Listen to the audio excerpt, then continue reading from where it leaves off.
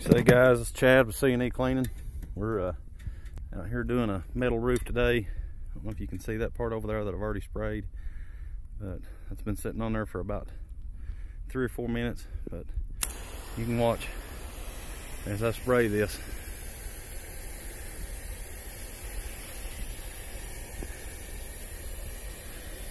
It changes almost instantly.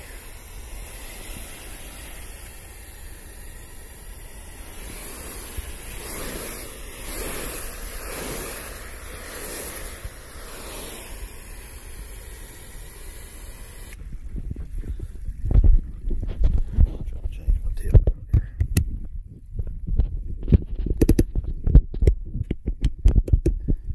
About the shaking. I'm trying to change my tip one-handed.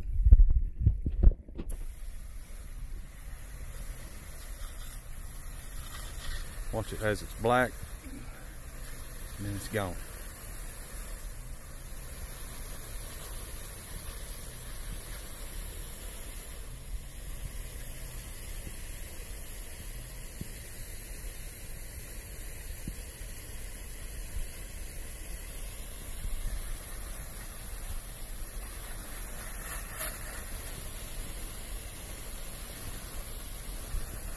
Just don't get no easier than that.